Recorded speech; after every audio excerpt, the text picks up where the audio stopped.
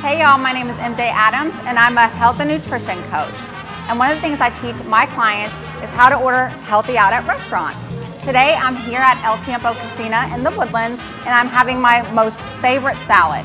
But let me tell you, they don't only have amazing salads, they also have amazing veggie fajitas and also some delicious fish tacos.